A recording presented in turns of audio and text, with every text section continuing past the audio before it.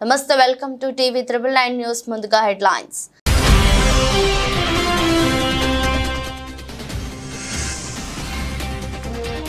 కన్యాకుమారి చేరుకున్న ప్రధాని మోదీ ఎల్లుండి సాయంత్రం వరకు అక్కడే ధ్యానం.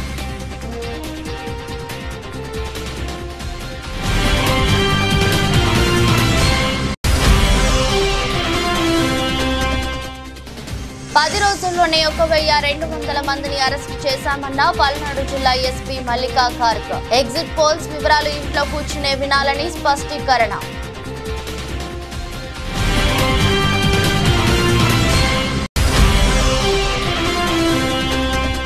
రైతులకు అందుబాటులో పచ్చి రొట్టి విత్తనాలు ఉంటాయన్న రంగారెడ్డి జిల్లా కలెక్టర్ శశాంక. జిల్లాలోని ప్రాథమిక సహకార సంఘాలు మరియు రైతు సేవా కేంద్రంలో తీసుకోవచ్చని వెల్లడి.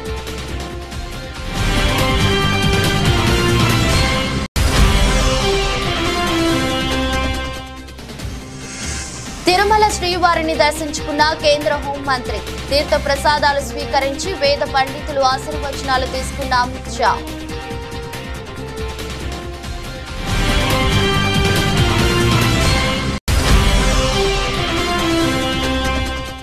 కౌంటింగ్ కేంద్రాల్లో అలజడి సృష్టించే వెంటనే అరెస్టు చేస్తామన్న AP CEO Mukesh Kumar Meena. Counting కేంద్రాల వద్ద నూట నలభై నాలుగు సెక్షన్ అమల్లో ఉంటుందని వెల్లడి.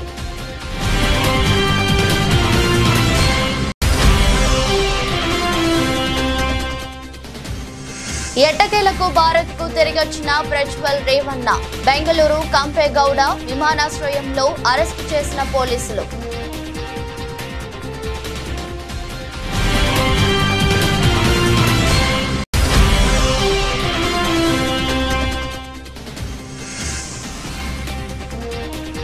గత రెండు రోజులు వరుస నష్టాలతో బ్రేక్ భారీ లాభాల్లో స్టాక్ మార్కెట్లు.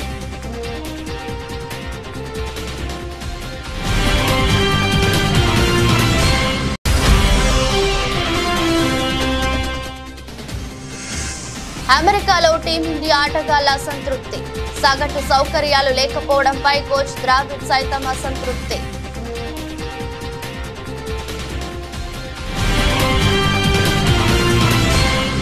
తమిళనాడులోని కన్యాకుమారిలో ప్రధాని నరేంద్ర మోదీ ధ్యానం కొనసాగుతుంది. స్వామి వివేకానంద ధ్యానం చేసిన వివేకానంద రాక్ మెమోరియల్లో మోదీ మెడిటేషన్ కొనసాగిస్తున్నారు.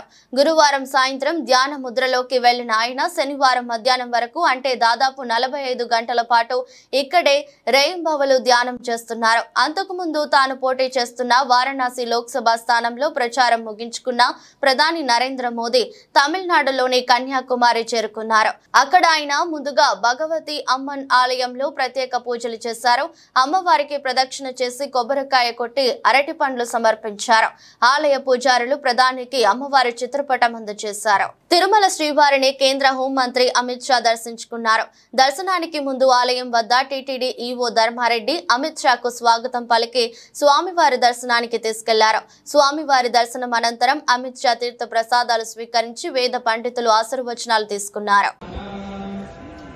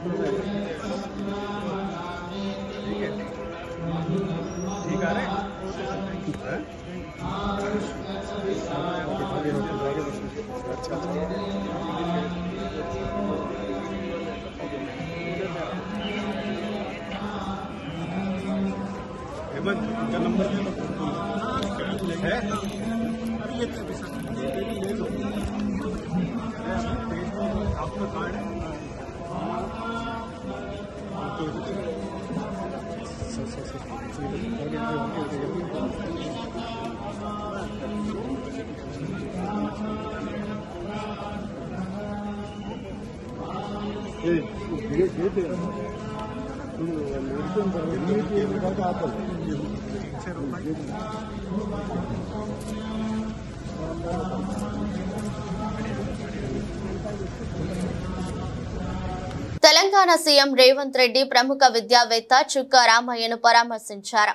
హైదరాబాద్ నల్లకుంటలో ఉన్న ఆయన ఇంటికి సీఎం వెళ్ళారు. ఆరోగ్యంపై ఆరా తీసి యోగక్షేమాలు తెలుసుకున్నారు. అనంతరం జూన్ రెండున జరిగే తెలంగాణ రాష్ట్ర ఆవిర్భావ వేడుకలకు రావాలని కోరారు.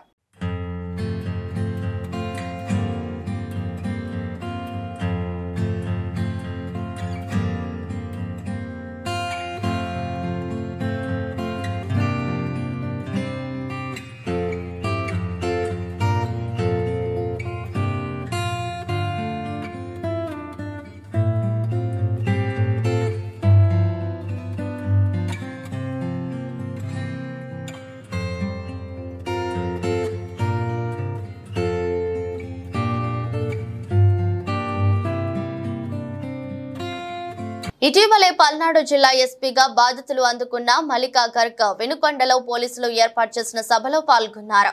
ఈ సందర్భంగా ఆమె మాట్లాడుతూ పల్నాడు జిల్లా దేశవ్యాప్తంగా ప్రచారంలోకి వచ్చిందని అన్నారు. చెడు ఘటనలతో పల్నాడు ప్రచారంలోకి రావడం బాధాకరమని పేర్కొన్నారు.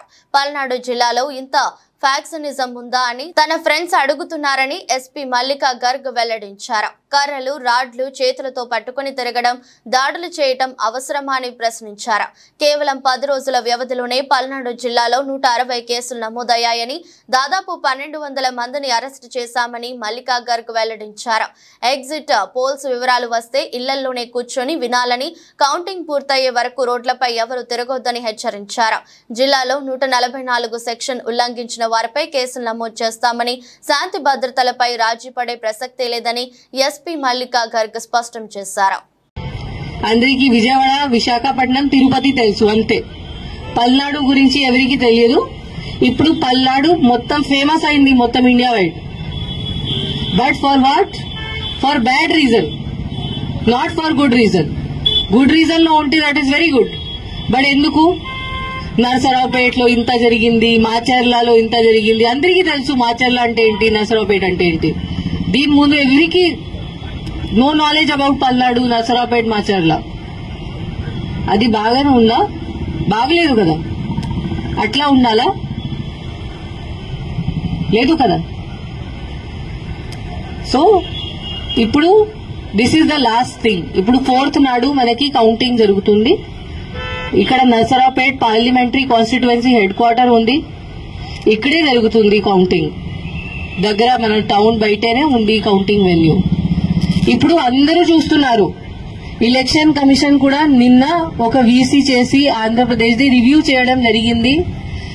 అప్పుడు కూడా పల్నాడు డిస్ట్రిక్ట్కి ఎంత టైం ఇచ్చారు అంత టైం ఎవరికి ఇవ్వలేదు. ఇంత కాన్సన్ట్రేట్ చేశారు పల్నాడు డిస్ట్రిక్ట్ మీద. సో ఇప్పుడు అందరూ చూస్తున్నారు పల్నాడు అంటే ఏంటి?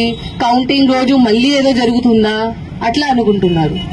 మళ్ళీ ఏదో జరిగితే పల్నాడు పోలీస్ పేరుది నాశనం అవుతుంది. పల్నాడు పోలీస్ మీద ఎవరికి నమ్మకం ఉండదు. So this is our last chance Palnadu police image save చేయడానికి ఇది మన లాస్ట్ ఛాన్స్ ఉంది. బట్ యాజ్ నేను చెప్పాను నాకు తెలుసు దట్ పల్నాడు పోలీస్ ఆఫీసర్స్ మీరు అందరూ ఉన్నారు. Are very good quality officers చాలా ఎక్సలెంట్ ఉన్నారు చాలా ఫిట్ ఉన్నారు చాలా డెడికేటెడ్ చాలా హార్డ్గా కూడా ఉన్నారు. ఓన్లీ ఒక డైరెక్షన్ మీకు కావాలి ఒక లీడర్షిప్ మీకు కావాలి. ఆ డైరెక్షన్ మీకు ప్రాపర్గా ఎవరు ఇస్తే మీరు ఏదైనా చేయగలుగుతారు. అది నాకు తెలుసు. అండ్ ఇప్పుడు టైం వచ్చింది. ఆ టైం వచ్చింది. మన మీద ఒక పెద్ద క్వశ్చన్ మార్క్ ఉంది. ఆ క్వశ్చన్ మార్క్ క్లియర్ చేయడానికి మనకి టైం వచ్చింది. జూన్ నాలుగవ తేదీన ఓట్ల లెక్కింపును దృష్టిలో ఉంచుకొని ఏపీ ఎన్నికల అధికారి ముఖేష్ కుమార్ మీనా రాష్ట్ర వ్యాప్తంగా ఈవీఎంలు భద్రపరిచిన స్ట్రాంగ్ రూమ్లను కౌంటింగ్ కేంద్రాల ఏర్పాట్లను పరిశీలిస్తున్నారు. మచిలీపట్నంలో కృష్ణా యూనివర్సిటీ వద్ద కౌంటింగ్ కేంద్రాన్ని పరిశీలించిన అనంతరం ఆయన మీడియాతో మాట్లాడారు. కౌంటింగ్ కేంద్రాల్లో అలజడి సృష్టిస్తే వెంటనే అరెస్టు చేసి జైలుకు పంపుతామని హెచ్చరించారు. కౌంటింగ్ కేంద్రాల వద్ద నూట నలభై నాలుగు సెక్షన్ అమల్లో ఉంటుందని సిఆర్పీఎఫ్ బలగాలతో భద్రత ఏర్పాటు చేశారు. చేస్తామని వివరించారు. అన్ని రాజకీయ పార్టీల అభ్యర్థులు ఆయా అభ్యర్థుల కౌంటింగ్ ఏజెంట్లు ఈ అంశాలను గమనించాలని అన్నారు. ఫలితాల వెల్లడి తర్వాత విజయోత్సవ ర్యాలీలు చేయకూడదని స్పష్టం చేశారు. ఇక పోస్టల్ బ్యాలెట్ అంశంలో సీల్ పై ఫిర్యాదు వచ్చిందని ఆ ఫిర్యాదు నేపథ్యంలో సీల్ సంతకంపై స్పష్టత ఇచ్చామని ముఖేష్ కుమార్ మీనా వెల్లడించారు. ఈ విషయంలో అనుమానాలు నివృత్తి చేసేందుకే ఈసీ దృష్టికి తీసుకెళ్ళామని చెప్పారు. ఈసీ మరోసారి స్పష్టమైన మార్గదర్శకాలు ఇచ్చిందని తెలిపారు. So on that day of counting counting లోపల హాల్లో ఎవరైనా ఏమైనా డిస్టర్బెన్స్ చేయడానికి ప్రయత్నం చేస్తే ఇమీడియట్గా అరెస్ట్ చేసేసి జైలుకి పంపించడం జరుగుతుంది. క్లియర్ ఇన్స్ట్రక్షన్ ఎలక్షన్ కమిషన్ ఉన్నాయి.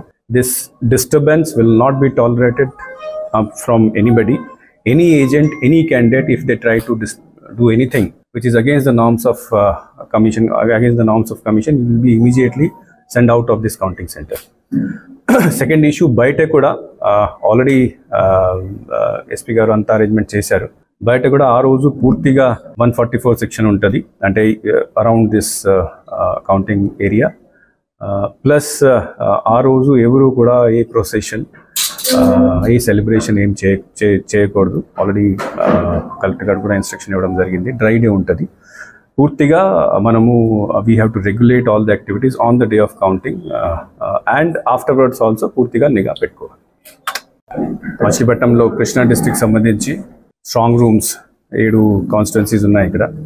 స్ట్రాంగ్ రూమ్స్ తర్వాత కౌంటింగ్ సెంటర్ ఇన్స్పెక్షన్ కోసం వచ్చాము. బేసికలీ రెండు రకాల ఇష్యూ చూడడానికి రావడం జరిగింది. ఒకటి రేపు ఫోర్త్ని ఉన్న కౌంటింగ్ సంబంధించి అన్ని ఇన్ఫ్రాస్ట్రక్చర్ ఇంటర్నెట్ సౌకర్యాలు బ్యారికేడింగ్ మూమెంట్ ఫ్లో అన్నీ సరిగ్గా చేయడం జరిగింది జరిగిందా లేదా? సెకండ్ సెక్యూరిటీ విషయంలో what type of arrangements are here so ఈరోజు అన్ని చూసిన తర్వాత ఆల్ టేబుల్స్ అన్ని ప్రతి కాన్స్టిట్యున్సీలో నాలుగు పద్నాలుగు పద్నాలుగు టేబుల్స్ పెట్టడం జరిగింది. All halls halls are properly now prepared internet facility కూడా ఏర్పాటు చేయడం చేశారు. మనకు ఈ టాబ్యులేషన్ సంబంధించి ఎన్కోర్ సంబంధించి ట్రైనింగ్స్ కూడా ఆల్రెడీ అయిపోయినాయి. సీసీటీవీ కెమెరాలు ఇవన్నీ కూడా ఏర్పాటు చేయడం జరిగింది. So all the preparations are properly done that I'm satisfied దీంతో పాటు సెక్యూరిటీకి ఇక్కడ మనకు సిఏపిఎఫ్ ఆల్రెడీ ఇక్కడ ఉన్నది. ప్లాటూన్ ఉంది. అన్ని స్ట్రాంగ్ రూమ్స్ కూడా వెళ్ళి చూడడం జరిగింది. డబల్ లాక్స్ ఉన్నాయి. సీసీటీవీ కెమెరా కవరేజ్ ఉన్నది. ట్వంటీ ఫోర్ అవర్స్ సర్వేలెన్స్ ఉంది. ప్రభుత్వం తరపున రాయితీపై పచ్చిరొట్ట విత్తనాలు జిల్లాలోని ప్రాథమిక సహకార సంఘాలు మరియు రైతు సేవా కేంద్రంలో రైతులకు అందుబాటులో ఉంటాయని రంగారెడ్డి జిల్లా కలెక్టర్ శశాంక తెలిపారు. జిల్లా కలెక్టర్ కార్యాలయంలో మీడియా సమావేశం ఏర్పాటు చేశారు. జిల్లాలో మొత్తం పదిహేడు వందల డెబ్బై ఎనిమిది క్వింటాళ్ళ పచ్చిరొట్ట ఎరువులు అందుబాటులో ఉంచగా పదిహేను వందల ఎనభై నాలుగు క్వింటాల విత్తనాలు సరఫరా అయినాయి. ఇంకా నూట తొంభై నాలుగు క్వింటాల్ విత్తనాలు రైతులకు అందుబాటులో ఉంచబడినవని తెలిపారు. ఇక్కడ కూడా కొరత అన్నది ఆస్కారం లేకుండా ఏర్పాటు చేయడం జరిగింది కాబట్టి ఎవరు కూడా అనవసరమైన వదంతులను వాటిని నమ్మొద్దు అని చెప్పేసి కోరుతా ఉన్నాం. మన జిల్లాకు సంబంధించినంత వరకు దాదాపు నాలుగు లక్షల తొంభై ఒక్క వేల ప్యాకెట్స్ కాటన్ మనకు కాటన్ సీడ్స్ మనకు అవసరమైతే ఇప్పటికే మనకు దాంట్లో లక్ష డెబ్బై ఎనిమిది వేల ప్యాకెట్స్ మనకు అందుబాటులో ఉన్నాయి. ఇప్పటి వరకు దాంట్లోనే ముప్పై ఒక్క వేల ప్యాకెట్స్ సేల్ కూడా అయ్యాయి. దాదాపు నాలుగు వందల యాభై పైచలకు రీటైలర్స్ ద్వారా ఇవన్నీ కూడా అందుబాటులో ఉంచడం జరిగింది. మన వైపు నుంచి అడ్మినిస్ట్రేషన్ వైపు నుంచి ప్రభుత్వం వైపు నుంచి రైతులకు ఎక్కడ కూడా ఇబ్బంది కలగకూడదన్న ఉద్దేశంతో టీమ్స్ని ఏర్పాటు చేసుకుంటూ ఎక్కడ కూడా కృత్రిమంగా కొరతను సృష్టించడం కానివ్వండి ఎక్కువ ధరకు అమ్మడం కానివ్వండి అటువంటివి జరగకుండా చర్యలు తీసుకోవడం జరుగుతూ ఉంది. అన్ని మండలాలలో కూడా ఈ టీమ్స్ తిరుగుతూ ఉంటాయి. ఎక్కడైనా చట్టాన్ని లైసెన్స్ కండిషన్స్ని అతిక్రమించి ఎవరైనా వ్యవహరిస్తే కఠినమైన చర్యలు కూడా తీసుకోవడం జరుగుతుంది. ప్రతి సంవత్సరం లాగానే మనకు ఎటువంటి నకిలీ విత్తనాలు అన్నది కూడా లేకుండా పోలీస్ శాఖతోటి మనము కోఆర్డినేట్ చేస్తూ వ్యవసాయ శాఖ రెవెన్యూ మరియు పోలీస్ టీమ్స్ వీటి కోసము నిఘా ఏర్పాటు చేసుకొని ఎక్కడ కూడా ఇటువంటివి రాకుండా చూడడం జరుగుతూ ఉంది. వీటితో పాటు మనకు మన ఈల్డ్ పెరిగే విధంగా ఏదైతే మనం గ్రీన్ మాన్యూర్ని సబ్సిడీకి ఏర్పాటు చేస్తామో పచ్చరొట్ట కానివ్వండి తర్వాత జీలుగ కానివ్వండి పోయిన సంవత్సరం కంటే దాదాపు ఎనభై శాతం అధికంగా ఈసారి మన జిల్లాకి రావడం జరిగింది.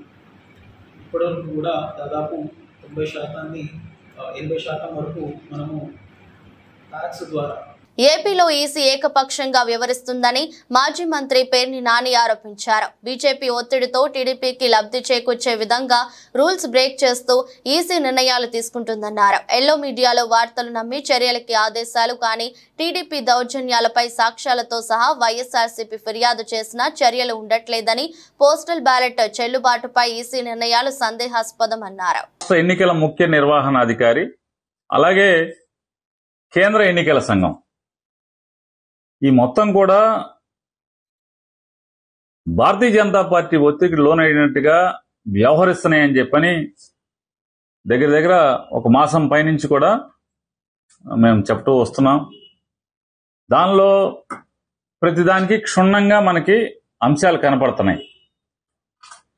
వైఎస్ఆర్ కాంగ్రెస్ పార్టీ పిటిషన్ ఇస్తే దాని మీద కనీసం కిందకి చర్యలు కూడా రాసే పరిస్థితి లేవు. వీడియోల ఆధారంగా ఫోటోల ఆధారంగా తెలుగుదేశం పార్టీకి సంబంధించినటువంటి తప్పుల్ని ఎన్నికల కమిషన్ అంటే ఎన్నికల అధికారికి కానీ ఎన్నికల కమిషన్ కానీ ఫిర్యాదు చేసినా కూడా దాని మీద చర్యలు ఏం చేపట్టకుండా. ఈనాడులోనో లేకపోతే ఆంధ్రజ్యోతిలోనో పేపర్లో పడితే చాలు దాని మీద ఆఘమేఘాల మీద కేసులు కట్టడం. ఎన్నికల సంఘం ఏ రకంగా అయిపోయారంటే తెలుగుదేశం పార్టీ రోజువారీ రివ్యూ చేస్తూ ఎన్ని కేసులు కట్టారు? వైసీపీ మీద ఎన్ని కేసులు కట్టారు? తెలుగుదేశం పార్టీ మీద ఏమన్నా పొరపాటున ఎక్కువ కేసు కనబడితే ఆ వీడియో కాన్ఫరెన్స్లోనే పైనుంచి జిల్లా కలెక్టర్లని ఆర్ఓల్ని ఎస్పీలని బూతులు తిడతాం.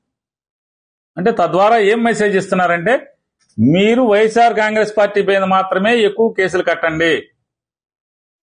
టీడీపీ మీద కేసులు కట్టబాకండి. భారతీయ జనతా పార్టీ మీద కేసులు కట్టబాకండి. వాళ్ళు తప్పు చేసినా కూడా అనేటువంటి సందేశాన్ని ఇస్తూ వస్తున్నారని కూడా మేము ప్రపంచానికి చెప్తూ వస్తున్నాం ఖమ్మం జిల్లాలో ఎలాంటి విత్తనాలు కొరత లేదని జిల్లా కలెక్టర్ విపి గౌతమ్ తెలిపారు. కలెక్టర్లోని సమావేశ మందిరంలో సిపి సునీల్ దత్తో కలిసి జిల్లాలో విత్తనాలు వానాకాలం పంట సాగుపై పాత్రికేయుల సమావేశం నిర్వహించారు. ఈ సందర్భంగా ఆయన మాట్లాడుతూ వానాకాలం దగ్గరలో ఉన్నట్లు ఋతుపవనాలు త్వరలో ప్రవేశించనున్నట్లు తెలిపారు. వచ్చే నెల రోజులు రైతులకు ఎంతో కీలకమని రైతులు సాగు పనుల్లో నిమగ్నం అవుతారని అన్నారు. మోసపూరికంగా చేద్దామని అనుకునే fly by night operators either license షాప్లో ఉన్న వాళ్ళు కావచ్చు లేకపోతే లైసెన్స్ లేకుండా జస్ట్ నైట్ పూట వచ్చి అమ్మి వెళ్ళిపోయే వాళ్ళు అట్లాంటి వాళ్ళ మీద అట్లానే లైసెన్స్ షాప్లో స్పూరియస్ సీట్స్ అమ్మే వాళ్ళ మీద ఎక్కువ ధరకి అమ్మే వాళ్ళ మీద ఇలాంటి వాళ్ళ మీద ఎలాంటి చర్యలు ఉంటాయనేది చాలా స్పష్టంగా తెలియజేయడం జరిగింది. సో వాళ్ళు కూడా లైసెన్స్డ్ సీడ్ డీలర్స్ కూడా పూర్తి స్థాయిలో ప్రభుత్వ యంత్రాంగానికి అట్లానే రైతులకి సహకరిస్తామని వాళ్ళు హామీ ఇవ్వడం జరిగింది. So agriculture and police teams కూడా యాక్టివ్గా ప్రతి మండలాల్లో కూడా వాళ్ళు తనిఖీలు నిర్వహిస్తూ ఉన్నారు. ఈ నేపథ్యంలో ఇప్పుడు మనకు ఈ గ్రీన్ మాన్యువర్ అనేది ఇంకా మన కాటన్ సీడ్స్ మీద ఎక్కువ మనకు డిమాండ్ రాలేదు. కానీ మన జిల్లా కూడా కాటన్ అనేది పెద్ద ఎత్తున కాటన్ సో చేసే జిల్లాల్లో మనం కూడా ఉన్నాం. ఆదిలాబాద్ తర్వాత మనకు ఖమ్మమే ఎక్కువ ఉంది. ఈసారి ఇంకా కాటన్ విస్తరణ కూడా కొంచెం పెరిగే ఆస్కారం కూడా ఉంటుంది. మనం రెండు వేల ఇరవై రెండులో చూసుకుంటే పత్తి పత్తి వచ్చేసి రెండు లక్షల ఇరవై ఒక వేల ఏడు వందల నలభై మూడు ఎకరాలు పత్తి అనేది చల్లడం జరిగింది పత్తి సాగు చేయడం జరిగింది. సో దానికి గాను అప్పుడు ఐదు లక్షల ఇరవై నాలుగు ప్యాకెట్లు ఐదు లక్షల ఇరవై నాలుగు వేల ప్యాకెట్లు కాటన్ ప్యాకెట్లు సేల్ అవ్వడం జరిగింది మన జిల్లాలో. పోయిన సంవత్సరం కొంచెం పత్తి విస్తీర్ణం తగ్గింది. లక్ష ఎనభై వేల ఎకరాలు మనకు పత్తి సాగు అయితే నాలుగు లక్షల నలభై మూడు వేల ప్యాకెట్లు అమ్మడం జరిగింది. యూనియన్ బ్యాంక్ ఆఫ్ ఇండియా నుంచి వచ్చిన ఓ లింక్ పై క్లిక్ చేయండి అని కనిపించిన సందేహం ఆయన కొంపముచ్చింది పొంచి ఉన్న మోసాన్ని గుర్తించలేక తన బ్యాంకు ఖాతాలో ఒక లక్ష నాలుగు వేల రూపాయలు నగదును పోగొట్టుకున్న సంఘటన మహబూబాబాద్ జిల్లా గడ్డిగూడెం గ్రామంలో చోటు చేసుకుంది. గ్రామానికి చెందిన ధారావత్ వెంకన్న యూనియన్ బ్యాంక్లో ఖాతాదారుడు. తన సెల్ ఫోన్కు ఈ నెల ఇరవై తొమ్మిదిన యూనియన్ బ్యాంక్ సమాచారం కోసం లింకును క్లిక్ చేయండి అని కనిపించడంతో వెంటనే దానిపై క్లిక్ చేశాడు వెంకన్న బ్యాంక్ ఖాతా నుంచి విడతల వారీగా ఒక లక్ష నాలుగు వేల రూపాయలు ఉపసంహరణ అయినట్లు మెసేజ్ వచ్చింది. వెంటనే సంబంధిత బ్యాంకుకు వెళ్ళి ఆరా తీయగా ఖాతాలో నగదు ఉపసంహరణ అయినట్లు బ్యాంక్ అధికారులు తెలిపారు. వెంటనే బ్యాంక్ అధికారులు ఖాతాను బ్లాక్ చేశారు. బ్యాంక్ అధికారుల సూచన మేరకు వెంకన్న సైబర్ క్రైమ్ విభాగానికి ఫిర్యాదు చేశారు. భవిష్యత్తు అవసరాల కోసం పొదుపు చేసిన సొమ్ము ఇలా దోపిడీకి గురవడంతో బాధితుడు కన్నీరు మున్నీరవుతున్నారు. ఆపరిచిత వ్యక్తుల ద్వారా వచ్చే ఫోన్ కాల్స్కు బ్యాంక్ అకౌంట్ వివరాలు ఇతర సమాచారం సమాచారం ఇవ్వకూడదని పోలీసులు ఎంత చెప్పినా ప్రజలు మాత్రం పట్టించుకోవటం లేదని అవగాహన పొందాలని కోరుతున్నారు. మహబాద్ యూనియన్ బ్యాంకులో నా అకౌంట్ ఉన్నది. అందులో గోల్డ్ లోన్ కోసం అని చెప్పి పదిహేను రోజుల నుంచి గోల్డ్ లోన్ రెన్యువల్ కోసం పెంచిస్తానంటే ఇచ్చినాం అక్కడ. రో ఆయన ఏంటంటే రోజుకొకటి రెండు రోజులకు ఒకటి రెన్యువల్ చేసుకుంటా. దాదాపు ఐదు గోల్డ్ లోన్ ఉన్నాయి నాకు. అందులో రెన్యువల్ చేసుకుంటా రోజుకు రెండు రోజులకు ఒకటి చేసుకుంటా వస్తా అంటే నిన్న ఇరవై నాలుగు వేల ఐదు వందలు ఒకటి ఇరవై ఐదు వేల ఐదు వందలు ఒకటి ఇలా పొద్దుగాల యాభై నాలుగు వేల యాభై నాలుగు వేలు అందులో డెబిట్ అయినట్టు లాస్ట్ యాభై నాలుగు వేలదే ఒకటి మెసేజ్ వచ్చింది నాకు.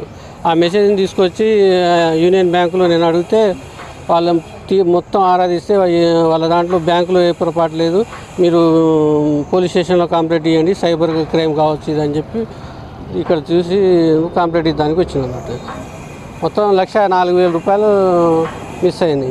ఎట్లా ఈ దీంట్లో ఏదో ఐఎంపిఎస్ కూడా ఏదో ఉన్నది. దాంట్లో అకౌంట్లో అమౌంట్ పోతున్నట్టు వస్తుంది బ- నాకు వాట్సాప్లో ఒకటి యూనియన్ బ్యాంకుతోని ఒక లింక్ వచ్చింది అది. అది యూనియన్ బ్యాంకు లింకు అది టచ్ చేస్తే అమౌంట్ మిస్ అయినట్టు వస్తుంది. గత రెండు రోజుల కాంచి పోతుంటే మీరు ఆ రోజు నుంచి నిన్న నిన్న నిన్నటి దానికి మెసేజ్ ఏం రాలేదు. మరి నాకు మెసేజ్ అది గోల్డ్ లోన్ పడ్డది కానీ కూడా నాకు మెసేజ్ ఏం రాలేదు. తర్వాత ఇలా మార్నింగ్ యాభై నాలుగు వేలు మిస్ అయినట్టు వచ్చిందంటే ఏమంటే బ్యాంకులో పోయి తీస్తే తెలుసుకుంటే అమౌంట్ మా దగ్గర ఏం పొరపాట్లు ఏ లేదు. మీరు పోలీస్ స్టేషన్లో కంప్లైంట్ ఇవ్వండి సైబర్ క్రైమ్ కావచ్చు అని చెప్పి అన్నారు. ఎవరికి ఇచ్చినారు? ఆ, టౌన్లో పిటిషన్ ఇస్తానికి వచ్చింది అన్నట్టు లైంగిక దౌర్జన్యం ఆరోపణలు ఎదుర్కొంటున్న కర్ణాటక జేడీయూ నాయకుడు మాజీ ప్రధాని దేవేగౌడ్ మనవడు ప్రజ్వల్ రేవన్నను ఎటకేలకు పోలీసులు అరెస్ట్ చేశారు. జర్మనీ నుంచి బయలుదేరిన ఆయన గురువారం అర్ధరాత్రి బెంగళూరు కెంపేగౌడ విమానాశ్రయంలో దిగగానే అదుపులోకి తీసుకున్నారు. ఈ ఆరోపణలు వెలుగులోకి రాక మునుపే ప్రజ్వల్ జర్మనీకి వెళ్ళిపోయారు ఆ తర్వాత భారత్కు తిరిగి రావడంతో తాత్సారం చేశారు చివరకు మాజీ ప్రధాని దేవేగౌడ ప్రజ్వల్ రేవణ్ణకు గట్టి వార్నింగ్ ఇచ్చారు. భారత్కు వచ్చి దర్యాప్తునకు సహకరించకపోతే తన ఆగ్రహాన్ని చవి చూడాలని హెచ్చరించారు. దీంతో ప్రజ్వల్ దిగొచ్చాడు. మరోవైపు ప్రజ్వల్ రేవన్న ముందస్తు బెయిల్ పిటిషన్ను ప్రత్యేక కోర్టు గురువారం తిరస్కరించింది. ఇక హసన్లో ఉన్న ప్రజ్వల్ ఇంట్లో పోలీసులు తనిఖీలు నిర్వహించి పలు ఆధారాలు సేకరించారు. కేరళలో మానవత్వం పరిమళించే ఘటన చోటు చేసుకుంది. అచ్చం సినిమా సన్నివేశాన్ని తలపించే ఉదంతం జరిగింది. కేరళ ఆర్టీసీ బస్సు డ్రైవర్తో పాటు ఆసుపత్రి డాక్టర్లు సమయానుస్ఫూర్తితో వ్యవహరించి ప్రసవ వేదనతో బాధపడుతున్న నిండు గర్భిణికి పునర్జన్మ ప్రసాదించారు.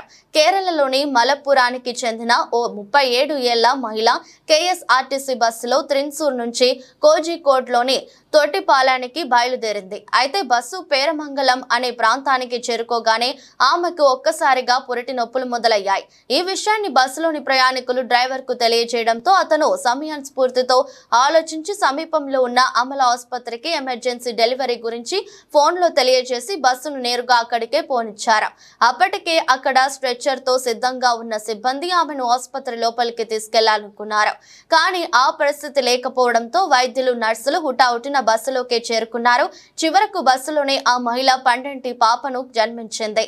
అనంతరం తల్లి బిడ్డలను ఆసుపత్రిలోకి తరలించారు. ప్రస్తుతం వారిద్దరి ఆరోగ్యం మెరుగ్గా ఉందని వైద్యులు తెలిపారు. ఈ వీడియోను చూసిన నెటిజన్లు బస్సు డ్రైవర్ ఆసుపత్రి వైద్య బృందాన్ని మెచ్చుకుంటున్నారు. అసాధారణ పరిస్థితుల్లోనూ గర్భిణిని కాపాడేందుకు వారు చూపిన చొరవను ప్రశంసిస్తున్నారు. నేడు టాలీవుడ్ లెజెండరీ నటుడు కృష్ణ ఎనభై ఒకటవ పుట్టినరోజు. ఈ సందర్భంగా ఆయన తనయుడు super star Mahesh Babu X Twitter వేదికగా ప్రత్యేకంగా బర్త్డే విషెస్ తెలిపారు. హ్యాపీ బర్త్డే నాన్న. మిమ్మల్ని చాలా మిస్ అవుతున్నా. 있습니다. నా ప్రతి స్మృతిలో మీరు ఎప్పటికీ జీవిస్తూనే ఉంటారు అంటూ ప్రిన్స్ ఎమోషనల్ ట్వీట్ చేశారు. దీనికి కృష్ణ పాత ఫోటోను జత చేశారు. మరోవైపు ప్రిన్స్ మహేష్ కూడా తండ్రికి తగ్గ తనయుడు అనిపించుకుంటున్నారు. ఇప్పటికే బ్లాక్ బస్టర్ సినిమాలతో ఇండస్ట్రీలో తనకంటూ ప్రత్యేక ఫ్యాన్ బేస్ను సెట్ చేసుకున్నారు. ప్రస్తుతం ప్రముఖ దర్శకుడు ఎస్ఎస్ రాజమౌళి సినిమా కోసం సిద్ధం అవుతున్నారు గత రెండు రోజుల వరుస నష్టాలకు బ్రేక్ పడింది. వారం చివరి ట్రేడింగ్ రోజైన నేడు శుక్రవారం స్టాక్ మార్కెట్లో జోరు కనిపించింది శుక్రవారం బెంచ్ మార్క్ సూచీలు అన్ని లాభాల్లో ప్రారంభమయ్యాయి. ఈ క్రమంలో బీఎస్సీ సెన్సెక్స్ ఉదయం పది పదిహేను నిమిషాల ఇరవై రెండు వందల ఇరవై ఆరు పాయింట్ లాభంతో ఈ డెబ్బై నాలుగు వేల నూట పదకొండు పాయింట్ సున్నా నాలుగు వద్ద ట్రేడ్ అయింది. ఎన్ఎస్సి నిఫ్టీ యాభై రెండు పాయింట్లు పెరిగి ఇరవై రెండు వేల ఐదు వందల నలభై పాయింట్ తొమ్మిది ఐదు స్థాయికి చేరింది. మరోవైపు బ్యాంక్ నిఫ్టీ నలభై ఆరు పాయింట్లు లాభపడగా నిఫ్టీ మిడ్ క్యాంప్ సూచి మాత్రం నూట ఇరవై రెండు పాయింట్లు నష్టపోయింది. నేటి నుంచి భారత స్టాక్ మార్కెట్లో జూన్ సిరీస్ ప్రారంభం కానుంది. మరోవైపు ప్రపంచ మార్కెట్లోనూ ఒడిదుడుకులు కనిపిస్తున్నాయి. అలాంటి పరిస్థితుల్లో లోక్సభ ఎన్నికల ఫలితాలకు ముందు మార్కెట్ మరోసారి పెరగవచ్చని ఆర్థిక నిపుణులు అంటున్నారు. ఈ నేపథ్యంలోనే ప్రస్తుతం Adani enterprise M and M Lawrence Bajaj finance UltraTech cement కంపెనీల స్టాక్స్ టాప్ ఐదు గెయినర్లుగా ఉండగా Infosys LTI Mindtree Bharti Airtel Cipla Tata consumers కంపెనీల స్టాక్స్ టాప్ ఐదు లూజర్గా నిలిచాయి. జూన్ ఫస్ట్ నుంచి టీ ట్వంటీ వరల్డ్ కప్ రెండు వేల ఇరవై నాలుగు ప్రారంభం కానుంది. ఇప్పటికే జట్లన్నీ టోర్నీ ఆతిథ్య దేశాలైన అమెరికా వెస్టిండీస్లకు వెళ్ళి ప్రాక్టీస్ మొదలుపెట్టాయి. టీమిండియా బుధవారం నుంచే కసరత్తు ప్రారంభించింది. అయితే ప్రాక్టీస్ చేసేందుకు కనీస సౌకర్యాలు లేకపోవడం పట్ల భారత ఆటగాళ్ళు అసంతృప్తిగా ఉన్నట్టు తెలుస్తోంది. పీచ్ల నుండి ఇతర సౌకర్యాల వరకు అన్ని తాత్కాలికంగా సిద్ధం చేసినవేనని అన్ని సౌకర్యాలు సగటుగా ఉండడం పట్ల భారత జట్టు ఆందోళన లేవనెత్తిందని న్యూస్ పద్దెనిమిది కథనం ప్రకారం పేర్కొంది. ఈ మేరకు భారత జట్టు వర్గాల నుంచి సమాచారం ఉందని జట్టు శిక్షణ పొందుతున్న కాంటియాక్ పార్క్లో సగటు సౌకర్యాలపై కోచ్ రాహుల్ ద్రవిడ్ సైతం అసంతృప్తిగా ఉన్నారని వివరించింది. ఇదే విషయంపై ఐసీసీని కూడా టీమిండియా సంప్రదించిందని కథనం వివరించింది. వార్తలు ముగించే ముందు మరోసారి హెడ్లైన్స్.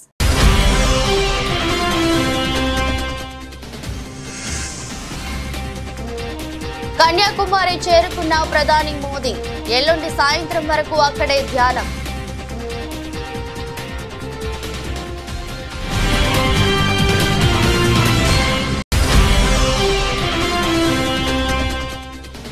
పది రోజుల్లోనే ఒక వెయ్యి రెండు వందల మందిని అరెస్ట్ చేశామన్న పల్నాడు జిల్లా SP Mallika Garg. Exit polls వివరాలు ఇంట్లో కూర్చునే వినాలని స్పష్టీకరణ.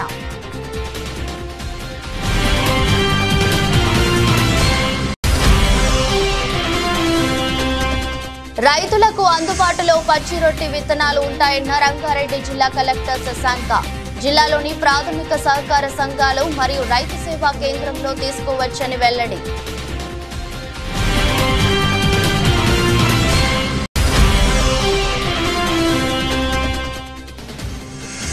తిరుమల శ్రీవారిని దర్శించుకున్న కేంద్ర హోంమంత్రి తీర్థ ప్రసాదాలు స్వీకరించి వేద పండితులు ఆశీర్వచనాలు తీసుకున్న అమిత్ షా.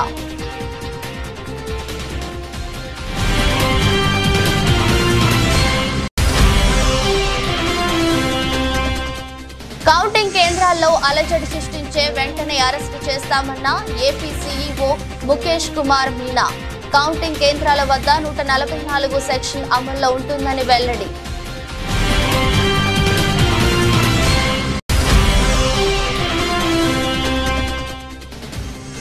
ఎట్టకేలకు భారత్కు తిరిగొచ్చిన ప్రజ్వల్ రేవన్న బెంగళూరు కంపేగౌడ విమానాశ్రయంలో అరెస్టు చేసిన పోలీసులు.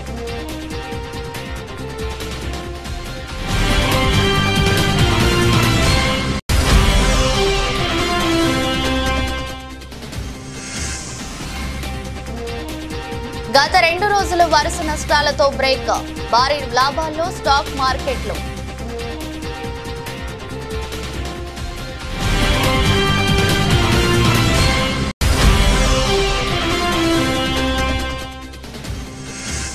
అమెరికాలో టీమిండియా ఆటగాళ్ళ అసంతృప్తి. సగటు సౌకర్యాలు లేకపోవడంపై కోచ్ ద్రావిడ్ సైతం అసంతృప్తి.